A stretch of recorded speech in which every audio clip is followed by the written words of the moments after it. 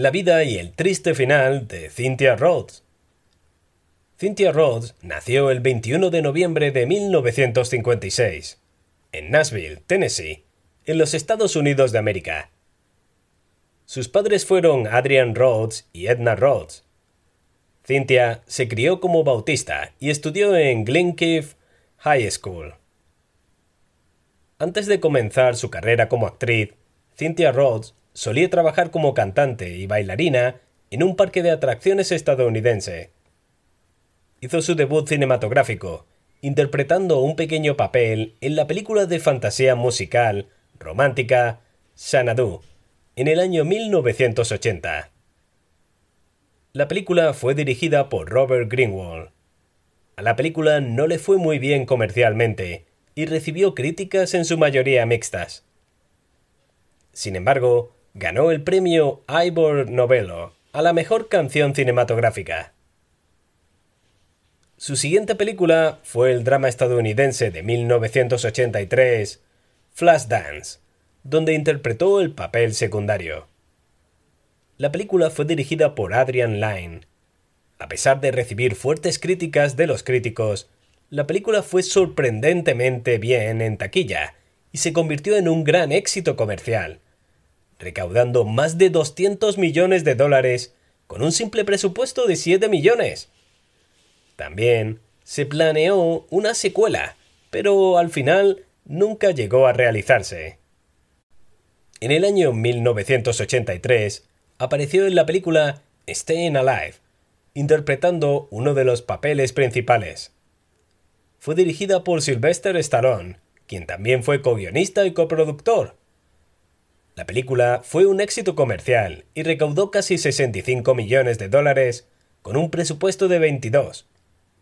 Sin embargo, las críticas fueron algo negativas.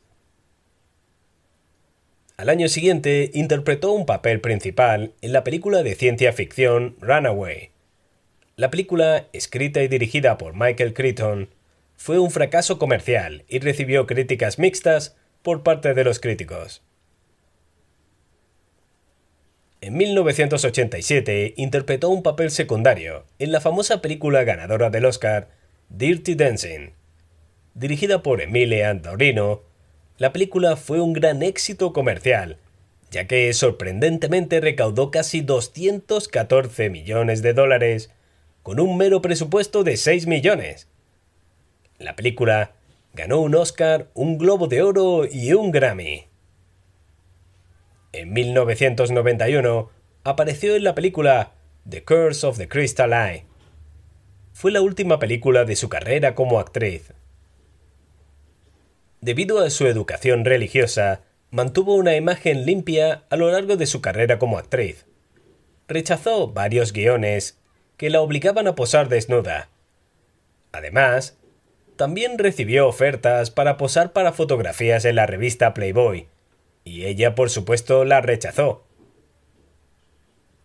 Como cantante, Rhodes fue miembro de la banda de rock estadounidense Animotion. Trabajó con ellos en dos canciones, Room to Move y Calling It Love. El drama romántico de 1983, Flashdance, es una de las pocas películas en las que Cynthia Rhodes ha trabajado. La película fue dirigida por Adrian Lyne y protagonizada por Rhodes en un papel secundario. Otros actores de la película fueron Jennifer Bills, Michael Nouri, Lilia Scala y Sunny Johnson. La película fue un gran éxito comercial. Una de las canciones de la película, Flashdance, What a Feeling, ganó un Oscar a la mejor canción original. Rhodes jugó un papel principal en la película de danza de 1983, Staying Alive, película dirigida por Sylvester Stallone, quien también fue co-guionista y coproductor. La película fue protagonizada por John Travolta, Finola Hughes y Steven Wood, además de Cynthia Rhodes. Aunque la película recibió críticas negativas, fue un gran éxito comercial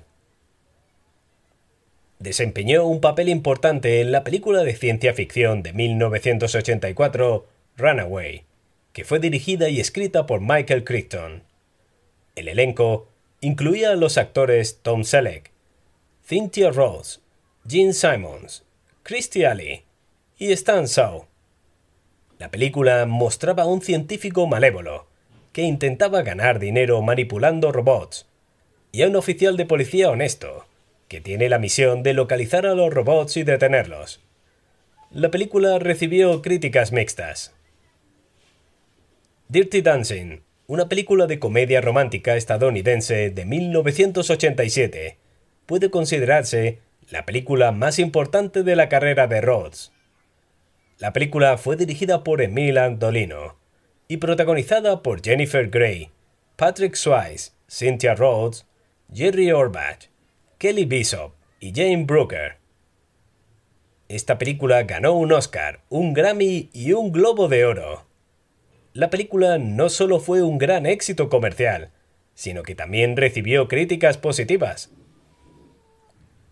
Cynthia Rhodes estuvo casada una vez con Richard Marx, un exitoso cantante y compositor estadounidense que ha lanzado un total de 12 álbumes.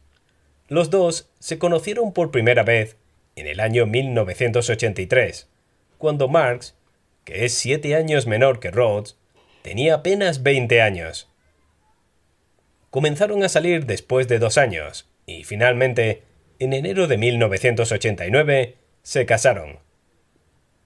La pareja tiene tres hijos, sin embargo, finalmente, se acabaron divorciando en el año 2014, después de un matrimonio de 25 años. Muchas gracias por escuchar la historia de vida de Cynthia Rhodes. Os deseamos buena suerte y nos vemos en los próximos vídeos. Hasta pronto.